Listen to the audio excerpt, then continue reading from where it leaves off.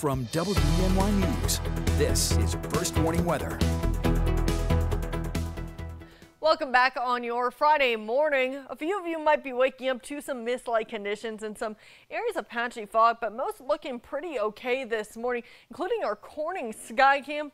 You can see the sun starting to rise over the hills out there, and we are expecting another dry day ahead to end out this work week. Now, as we started off, temperatures a little bit cooler out in the valleys, mid upper 40s anywhere from Bath to Elmira. That includes Corning as well. Rest of us, though, in the 50s to start off the day, 50 in Towanda, 55 up in Watkins Glen, and we're at 54 in Wellsboro. Pennsylvania. Clear skies is what we are forecasting. Some higher level clouds do filter in as the morning goes on. We'll actually see those clouds continuing to increase tonight as our next system approaches. But hey, it is going to be another dry day out there with some partly sunny skies in the forecast. High temperatures ranging from the mid to upper 70s in a few spots getting into the lower 80s this afternoon. Along with that, we are going to see some breezy conditions out of the south. However, all good things must come to an end, and sadly, our dry streak will be coming to an end as this cold front makes its way through the Twin Tiers and brings us the chance for showers going into your upcoming weekend.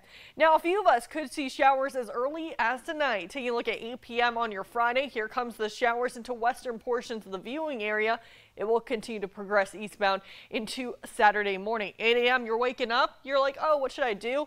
Maybe stay in bed for a little bit longer. That's what I'm planning on doing. You are going to see these showers pushing into the area and exiting for the most part by the time we do get to lunchtime. See this line? Well, it's already off to the east and we do see some clearing pushing in from the west.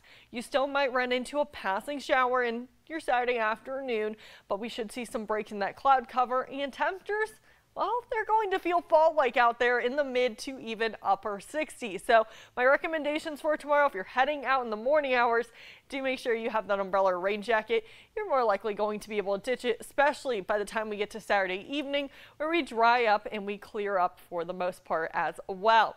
As for rainfall totals, this is for your Saturday. We're looking at about a half an inch of rainfall. Some localized higher amounts will be possible. And like I've been saying, we are going to be in the mid to upper 60s this upcoming weekend, but we'll see a nice warming trend as we go into next week with the return of the low to mid 80s. That's where we're at today, the low 80s with partly sunny skies, breezy conditions, mid upper 60s this weekend as we started off with that chance for showers. Fair skies Sunday and Monday, and we're sticking dry through the middle parts of next week.